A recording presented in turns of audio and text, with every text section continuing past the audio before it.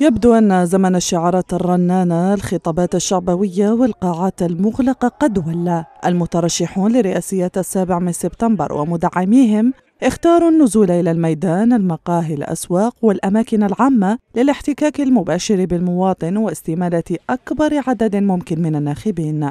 المرشح نتاعنا يسموه عبد المجيد تبون. دور دور. وهذه وهذه الجينيراسيون اللي لازم تغير وكفاه نردوا عليهم. إحنا شعب متحضر.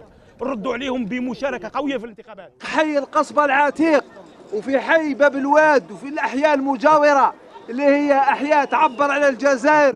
ثلاثة مترشحون يراهنون على العمل الميداني بعد أن أصبحت خطابات القاعات منفرة ولم تعد ذات منفعة دعائية. يتبادلون أطراف الحديث مع المواطن البسيط ويتناقشون معه حول مختلف القضايا الوطنية وحتى الخارجية.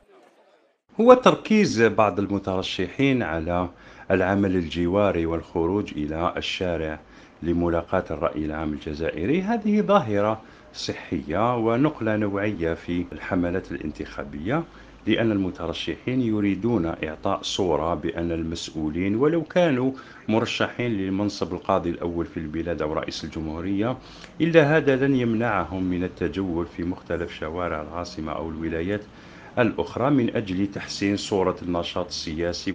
المعطيات تغيرت اليوم والمواطن أصبح يتحلى بوعي أكبر ومنطق. ما يستدعي التكيف مع كل المتغيرات المتعلقة به باعتباره أهم حلقة في المسار الانتخابي ووحده من يحدد من سيعتلي قصر المرادية يوم الاقتراع.